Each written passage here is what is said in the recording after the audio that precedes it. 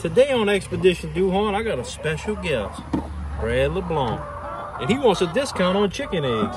So I said, if you want a discount on chicken eggs, you're gonna have to come out here and pick them yourself. I ain't never seen nothing like this. What you think about that, Brad? It's kind of like you pick. It's kind of like I don't want to make any sudden moves in here, right? I'm fearful for my shins. Look at my little girl there. That was busted, huh? I hope not. Oh, you, no, it's good. you know what they say, huh? If you break, you buy.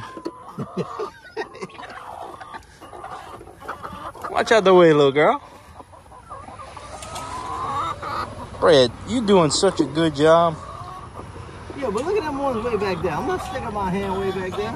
You got to get in there, man. That's part of the job. That looks like serpent territory.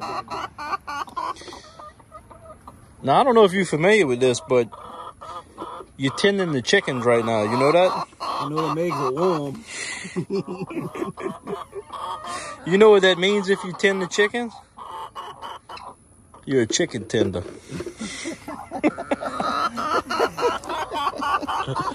How you like that? We got a bucket full. Look at that. Oh, y'all, that's just another day out here on the farm with Brad from Marathon. He works at the gas station. Don't be fooled. My kids thinks that McDonald's. That's what That's that. McDonald's, yeah. Just a different M, but he really works at McDonald's. Come on, let's get out of here before I lose a toe. What you say?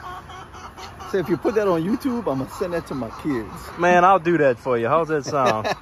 I'll tag and I'll tag Marathon in there and say, not only do we make all in gas, we got chicken eggs. well, thank you for coming. Check out the farm, Brad. Well, thank you for uh, helping me with some eggs. How's this? I'm still gonna charge you full price for these eggs, but next time I'll give you a little discount since you helped me pick them. Excellent.